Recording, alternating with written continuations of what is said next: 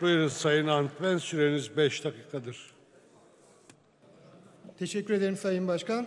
Değerli milletvekilleri, Enerji Bakanlığı ve bağlı kurumların bütçelerini görüşüyoruz.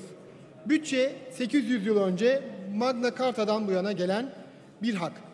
Ancak bu hak sadece vergilerin toplanmasıyla ilgili değil. Ayrıca toplanan vergilerle ilgili olarak halka da hesap vermeyi içeriyor.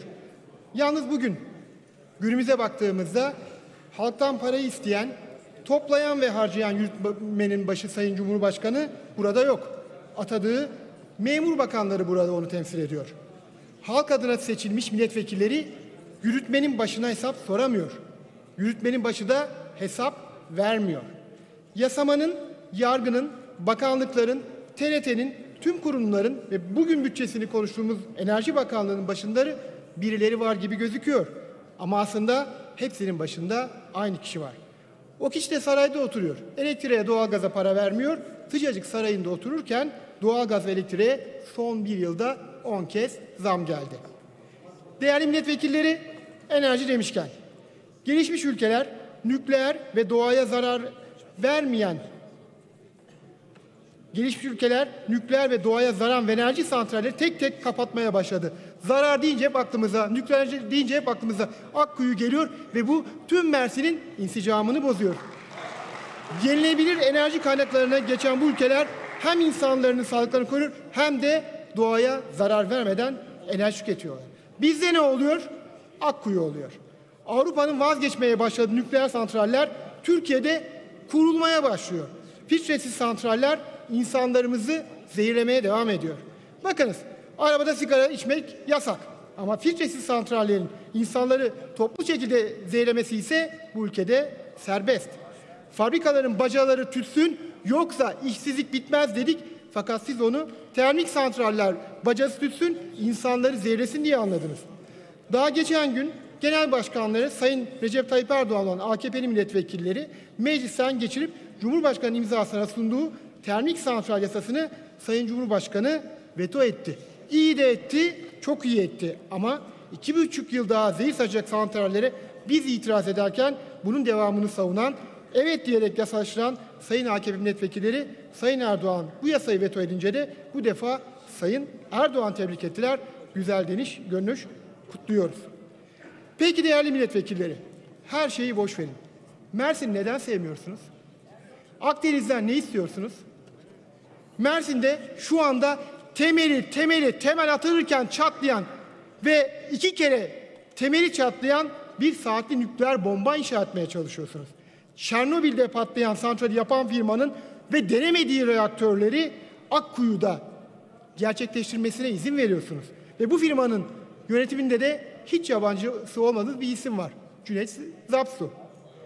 Geçen gün Sözcü gazetesinde Çiğdem Toker Akkuyu'ya nereden para aklanacağının ve nereden hangi şirketlere nereden para verileceğinin kaynağının ne olduğunu bilinmediğini yazdı. Yani bu şirket üzerinden karanlık para operasyonları mı çekilmek isteniyor?